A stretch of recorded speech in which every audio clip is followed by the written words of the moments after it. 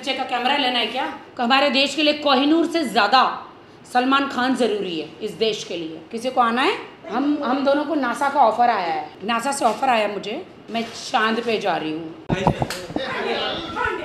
बुम बुम शकला कला कला का बुम बुम कर रही हूँ टिकटॉक पे मैं। बहुत अच्छा लग रहा है मुझे इंडिया आके। बहुत अमेजिंग फील हो रहा है। अफवाह तो ये भी आती है कि मैं रॉकेट में, नासा से रॉकेट में ऊपर चाँद की तरफ़ चली गई। सारा क्या मरलिन खोपड़ा और उर्फी ही थोड़ी ना सारा क्रेडिट ले जाएगी। ये मेरे चेले हैं। तो मुझे लगता है कि मैं आ, इंडिया आ गई हूँ और बहुत अच्छा लग रहा है मुझे इंडिया आके। बहुत अमेजिंग फील हो रहा है। आई लव माई कंट्री मैं भी आती जाती रहती थी। मैं दुबई भी रहती थी यहाँ पे भी। यार आप लोग तो ऐसा बोल रहे हो जैसे कि मैं पता नहीं मेरा देश छोड़ के कहीं चली गई हूँ। ऐसा नहीं मैं आती जाती रहती थी। ऐसी अफवाह फैलाई गई कि आप अ, भाग के चले गए उधर के ऐसा अफवाह तो ये भी आती कि मैं रॉकेट में, नासा से रॉकेट में ऊपर चाँद की तरफ़ चली गई। तो क्या मैं चली गई क्या? तुम लोग कुछ भी तुम्हारी अफवाह पे थोड़ी ना मैं रिएक्ट करती हूँ। एक्चुअली नासा से ऑफ़र आया मुझे कि मेरे मेरे लिए स्पेशल रॉकेट बनाया गया है। रॉकेट में बैठ के मैं चाँद पे जा रही हूँ। किसी को आना है?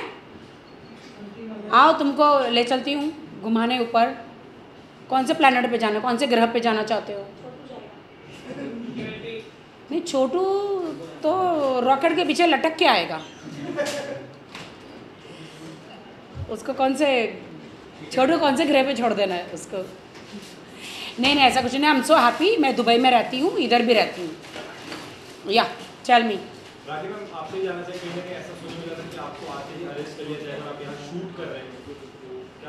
तो तुम लोग वो किसी फालतू लोगों को पब्लिसिटी अननेसेसरी दे रहे हो। मेरे नाम से लोग पब्लिसिटी उठा रहे हैं। आपको मैं लग रही हूँ कहीं से मैं तो यहाँ पे आके नायका का शूट कर रही हूँ। मैंने आपको बोला, ऐसा कुछ भी नहीं है। ऐसा कुछ नहीं, लोग मेरे नाम की पब्लिसिटी उठाते हैं, उनको लगता है कि हम राखी के बारे में अच्छा तो नहीं बोलेंगे, कोई बोलेगा नहीं, कोई अपने गुनाह तो बताएगा नहीं। तो राखी के लिए बुरा बोलेंगे तो मीडिया हमें छापेगी। मीडिया इतनी वैली है, मीडिया को मैंने 20 साल दिए हैं मेरे बॉलीवुड में। मीडिया इतनी वैली है उनको मालूम है। पॉजिटिव बोलेंगे तो छापेंगे नहीं। राखी के लिए नेगेटिव बोलो राखी की बुराई करो तो हम छप जाएँगे और हम स्टार बन जाएँगे। सत्य है सत्य है। छोटू तुम छोटू ये मेरा एंगल सही नहीं है। बोलूँ क्यों? क्यों बोलूँ? छोटू हम हम दोनों को नासा का ऑफ़र आया है। हमें रॉकेट चलाना है। चाँद पे गड्ढे मिले हैं तुझे मैं वहीं दफना के आ जाऊँगी। छोटू। राखी मैम कहीं ना कहीं इससे पहले ऐसा होता कि प्रेस कॉन्फ्रेंस रखी जा रही थी कभी आपकी तरफ़ से कभी वहाँ से तो क्या फिर से वो प्रोसेस यहाँ से शुरू होगी। नहीं मैं किसी के बारे में कुछ नहीं बोलना चाहती। मेरी ज़िंदगी बहुत बेहतर है और बहुत अच्छी है। मैं बहुत अच्छा ग्रो कर रही हूँ। मैं दुबई में हूँ। दुबई में मुझे ऑफिशियली टिकटॉक ने साइन किया है। और टिकटॉक से अ, मैं दुबई में बहुत अच्छा कमा रही हूँ। वर्ल्ड लेवल में मेरे इतने फैंस हैं और टिकटॉक पे मैं बहुत ही बुम बुम कर रही हूँ। बुम बुम शकला कला कला का बुम बुम कर रही हूँ टिकटॉक पे मैं। और वो आप लोग को पता नहीं है ना? अब आप लोग अरे कहाँ दिखा रहा मेरी बैग अच्छा हाँ ठीक है। डर कितने गई। करोड़ की प्रॉपर्टी खरीद ली आपने दुबई में। बहुत ही अच्छी प्रॉपर्टी मिल रही है। मतलब दुबई में इंडिया से सस्ती प्रॉपर्टी मिलती है। तो वहाँ पे मैं टिकटॉक पे जॉब करती हूँ और वहाँ पे मुझे बहुत अच्छी मेरी कमाई होती है। और बस प्रॉपर्टी मैंने ले ली है। राखी मैम यहाँ से जैसे आप जिम से बाहर निकलने के लिए जिम स्टेशन के टाइम जो फैंस को हमको एंटरटेन करते हैं वो फिर से प्रोसेस अब यहाँ शुरू होगी। नए नए तरीके से डेफिनेटली रोज़ जिम में जाऊँगी, रोज़ आप लोग आ जाओ। मेरा काला चेहरा विदाउट मेकअप ले लो। तुम लोग रोज़ आते हो। मुझे देश भर से इतनी गालियाँ मिलती है कि ये ऐसी क्यों दिखती है? अब आज मैं कितनी सुंदर लग रही हूँ, बताओ। लग रही हूँ ना? हाँ क्योंकि आप लोग शूटिंग पे आए हो। तो देश की जनता को बताना चाहती हूँ कि ये पैप्स है ना, मुझे शूटिंग के बाहर विदाउट मेकअप मिलते हैं। इसलिए अब शूटिंग पे आप जाएँगे तो आप कैसे दिखेंगे? नॉर्मल दिखेंगे ना, जैसे घर में होते। अब स्विमिंग पूल में आप तैरने जाएँगे, साड़ी पहन के तो नहीं तैरेंगे ना? हैं, साड़ी ऊपर आ जाएगी, नहीं आएगी? तो वैसे स्विमिंग कॉस्ट्यूम स्विमिंग पूल में पहना जाता है। जिम के कपड़े जिम में पहने जाते हैं शूटिंग पे शूटिंग के कपड़े पहने जाते हैं। है ना गाइस तो मुझे जज करना, बंद करो। या आई डोंट थिंक सो मेरे कोई हेटर्स है। मेरे हिटर्स हो सकते हैं, मेरे हेटर्स नहीं हो सकते। मैं लोगों को गर्म करती हूँ। ठंडा करना मेरा काम नहीं है। आपको समझ में आया? क्या सारा, क्या को मरलिन खोपड़ा और उर्फी ही थोड़ी ना सारा क्रेडिट ले जाएगी? ये मेरे चेले हैं। मेरी चेलियाँ हैं ये। मुझे बहुत अच्छा लगा और उर्फी यहाँ फ़ैन लगा के आई थी दो। एक फ़ैन नीचे भी लगा लेती। मुझे बड़ा अच्छा लगा। Very innovative very iconic Urfi. Stylish है, मुझे अच्छा लगता है। रोज़ एक नया ड्रेस बनाती है।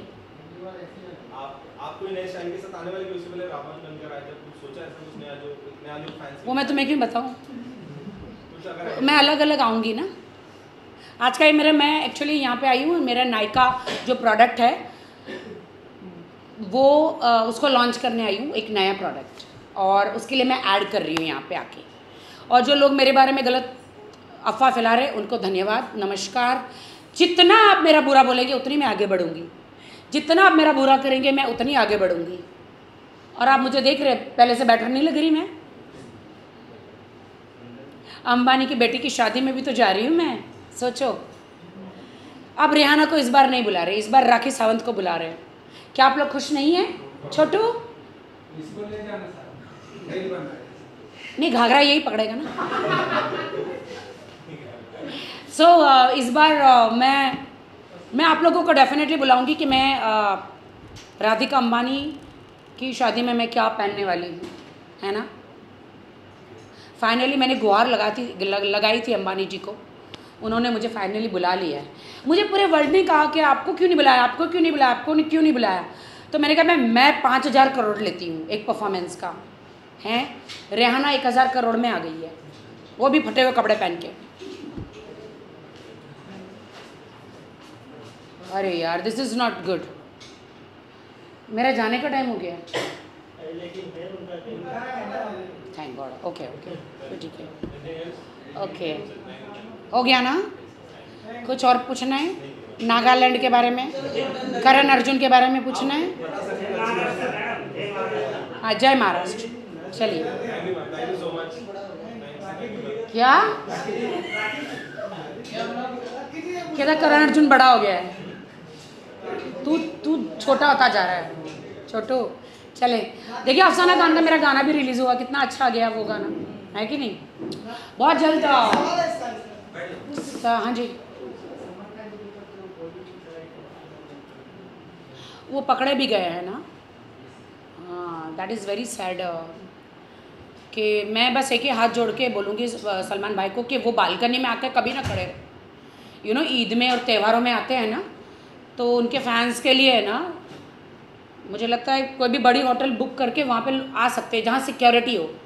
सलमान भाई, शाहरुख खान, मैं इनको कहूँगी, वो जो लोग शाहरुख खान अपनी छत पे चढ़ जाते हैं, जाली वाली छत पे, सलमान भाई उनकी बालकनी में आते हैं तो वो न आए। अभी सबको मालूम है कि हर ईद के दिन वो बालकनी में आते हैं भाई। तो भाई, अभी वो बालकनी में मत आओ, क्योंकि बालकनी के बाहर ही उधर निशाना हो गया ना। अरे बापरे मैं बहुत रोई हूँ, बताया मुझे जब पता चला, बहुत रोई मैं दुबई में थी। तो भाई बा, भाई से बालकनी में ना आए बस। सबको मालूम है बच्चों बच्चों को मालूम है कि ईद के दिन यू नो और ईद के दिन वो बालकनी में आके खड़े रहते हैं। तो एक साल पहले से लोग षड्यंत्र रचाते हैं।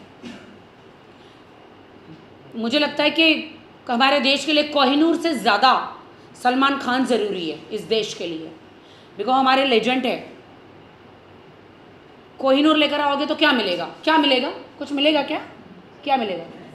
हाँ? तुम लोग पैसे के भेजे भागते हो।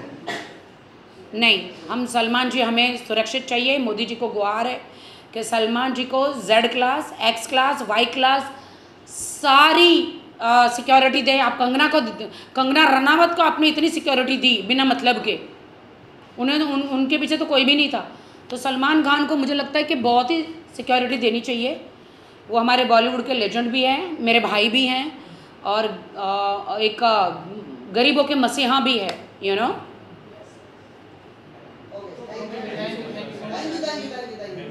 चलो। यहाँ से कल्टिस करूँ क्या? चलो। क्यों तुझे मेरे पीछे का कैमरा लेना है क्या? सब मैं जानती हूँ। सारा सामान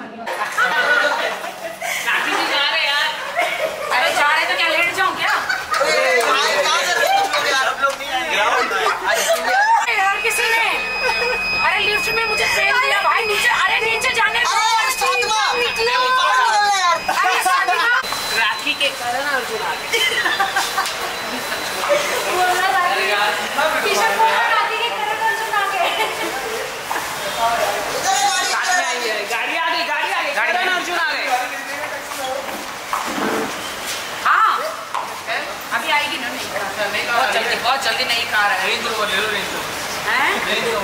नहीं नहीं मेरी फेवरेट कार है। लैंड रोवर हाँ लैंड रोवर और लैंड क्रूज मेरी फेवरेट कार है। लैंड क्रूज मैं तेरे बर्थडे में तुझे लैंड क्रूज दूँगी। लैंड रोवर राजा बहुत बदमाश हो गया ये जोड़ी